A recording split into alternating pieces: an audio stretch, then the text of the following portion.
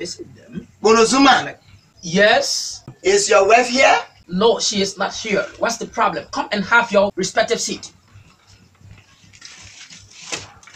Mm. Oh, the very first time that I saw you crossing this road, I decided to approach you on this matter. But Which matter, I decided to uh, relax more. This is why you are here today, and I thank God that you are here.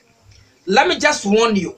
And before I can warn you, let me tell you briefly where I met my wife and how I met her. Man wife Tanya, I met her when the first time I saw her coming towards me vertically, where I was going towards her horizontally. And I told her that her love and my love are in the turquoise room, where cosine and sine are equal to positive. So if you activate man and know it by following my wife any longer, I will hold you by your narrative and distinguish you Eh?